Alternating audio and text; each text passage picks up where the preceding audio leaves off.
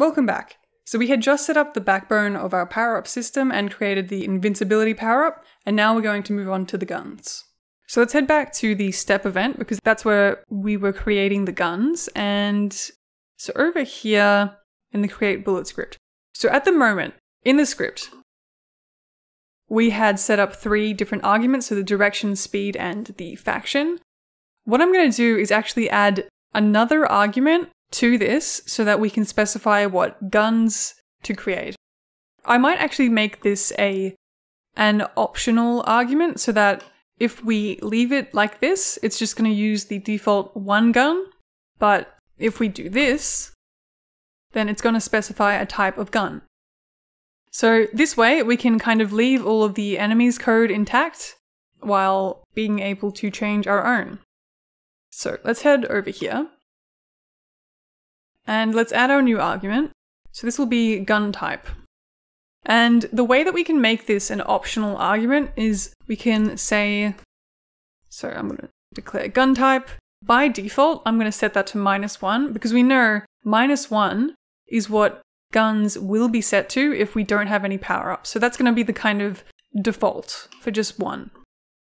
If we have supplied an argument for gun type, then we're going to overwrite this with the argument that has been input into the script.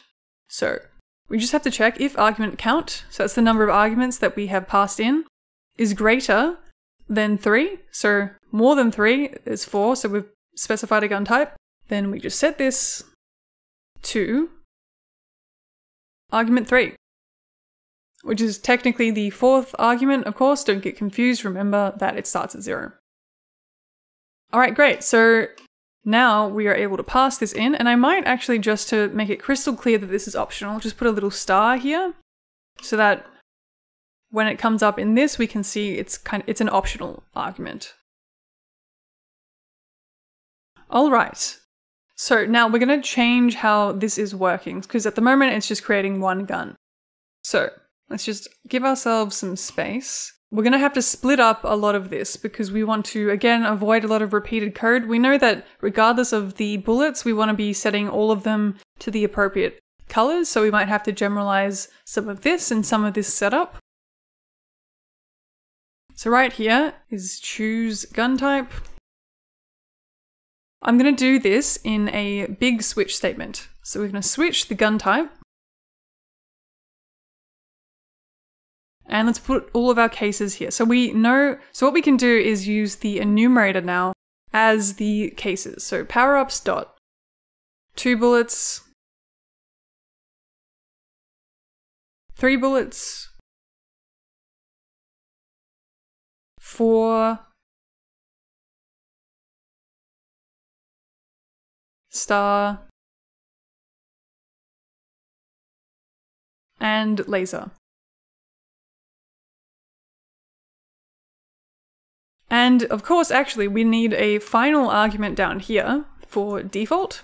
So this will be if we haven't kind of specified a gun type, if it's minus one. So we could actually put case minus one, but it makes sense to put this as the default. And actually, we can just grab all of the original code we had and put that there. So I'm going to move these two into the default.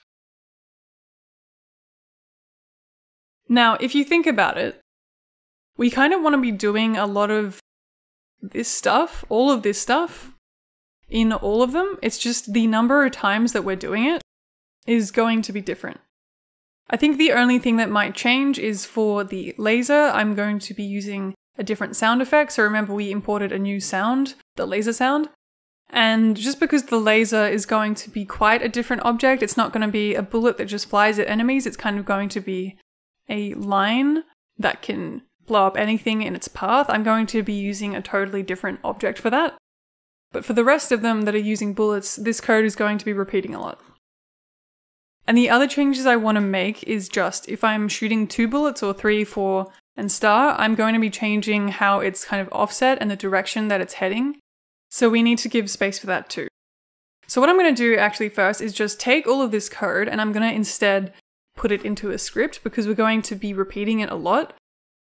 So let's make a new script and we're going to call this initialize bullet, and this is kind of just going to be the handover of all of these variables.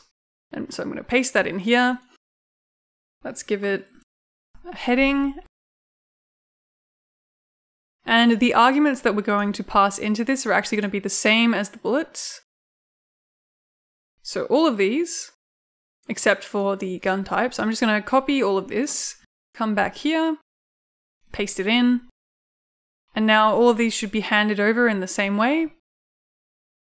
Um, but we can get rid of gun type.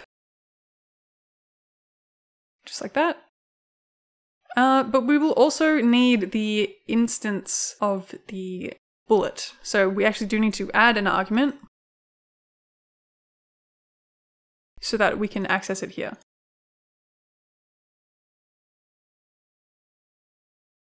All right, great. So now whenever we uh, run initialize bullet, it's going to run all of this stuff. And that way, if we ever change how we're initializing the bullet, if, if it needs more factors or anything, we just have to change this script. So let's come back to create bullet. We actually don't need this anymore because it's handled in that other script. We do need these arguments so that we can pass it in down here. So I'm going to run initialize bullet and let's pass in direction, speed, faction, and the instance itself, which we're getting right here, the ID for the instance when we create it.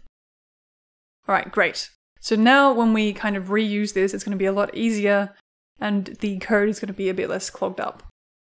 So let's come up to two bullets and think about how we're going to do this. So we kind of need to do this two times right here. And we are going to be offsetting X and Y a little bit. I don't want them both coming out of the player at the exact same spot because it wouldn't even look like two bullets then. We're just going to kind of, relative to where the player is facing, offset it left and right of the ship. And it's not going to be as simple as just kind of plussing, you know, a few numbers like this, so minus four, plus four, because the player is going to be facing different angles and we still want it to offset relative to that direction. So I'm going to be using some vector maths, and the function that we're going to be using is called length direction. And let me just middle click on this. So we know that if the player, for example, is facing this way, the angle that we want the bullets to go in is kind of off here. So it's kind of plus 90 and minus 90 from where the player is facing. And then to get the actual x and y position of where that should be, this function is going to give us the exact value for x and y that the bullet needs to go in. We just have to tell it a length, so like how far down this vector do we want it to put the bullet, and then just the direction. And we already know the direction because it's going to be minus 90 for that one and plus 90 for the other bullet. So now just to generalize how far uh, up and down the player it's going to go, I'm going to make a new variable called separation. And we'll set that equal to 12. It doesn't really matter. This is an arbitrary number. You can pick a different one, but I think this looks pretty good. And that is the length from the player that uh, the bullets will be offset. So instead of 4, we're going to use this argument. So we're going to go separation. And now, like I said, we want whatever direction the player is facing in, so whatever uh, argument has passed in here, and of course, this will be general so that other ships will be doing the same thing. It should work for the enemies and everything. And we just have to plus 90. So this one will be our plus 91. And we'll do the same for the Y. And I'm going to copy this and paste it here. And we just have to say minus 90 now. All right, great. Now, the way I'm going to do the three bullets is actually the exact same as the two bullets. I'm just going to be creating a few more of them. So I want this code to run and I just want it to shoot one in the middle as normal. So I want it to do all of this stuff, but just create one as normal like it's kind of doing in the default. So I'm going to copy this, put that in here, and I'm actually going to change the order of that so that this case is going to be running this one's code. So this is kind of a, a sneaky way to do it. We can uh, reuse the code this way. We don't have to be copy and pasting all of this into here. So I'm not going to put the audio play in this one because it's already going to be playing it with two bullets. But like I said, if you don't put a break in the cases, it's going to go ahead and run the next case as well. So we've already got the three bullets and the two bullets set up. Now might be a good time to test those, so I'm going to go over to our power up and I'm going to change that to two bullets. And I'm going to hit play and just see if that works. Great. And you can see the uh, overlay of the two guns is also working because we had already set that up. And we'll do the three bullets now.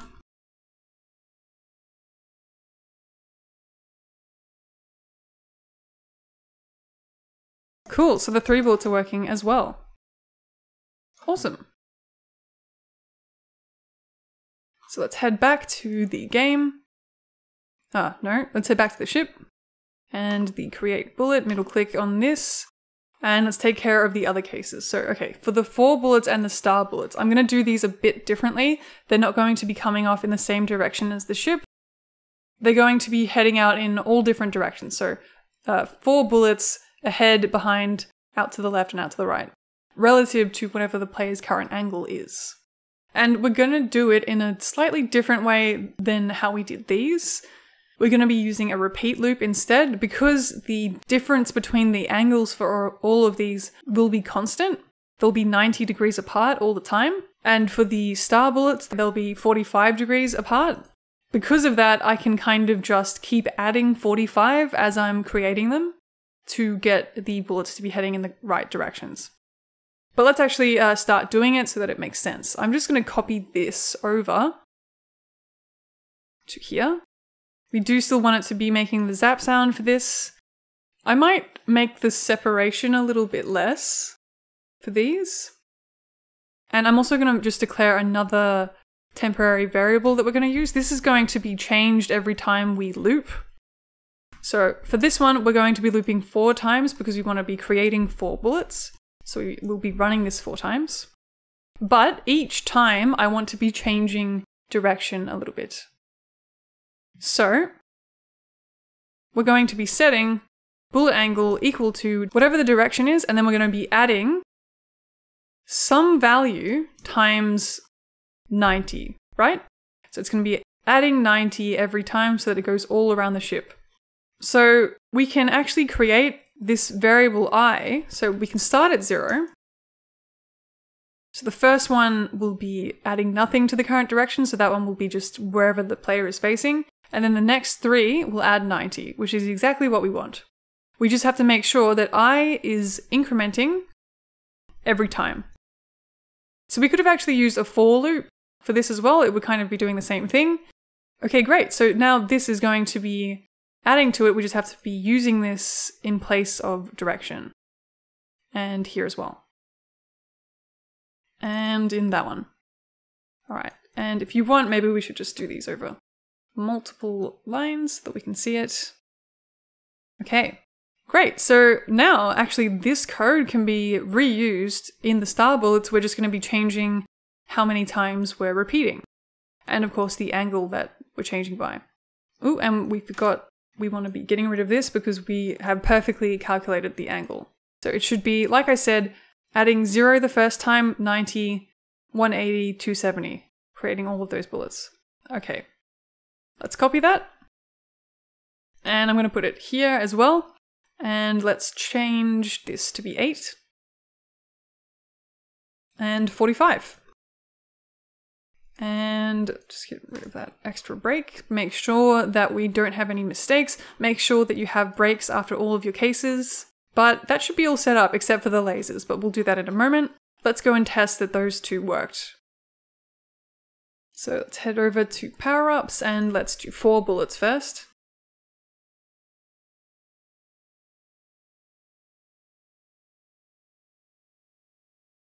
There you go, so it's going out in all directions.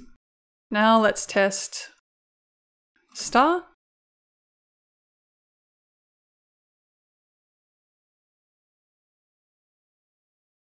Awesome, okay. Alright, so now all that's left to do is make the laser bullets, which we'll do over in the next tutorial. Thanks for watching, I'll see you there.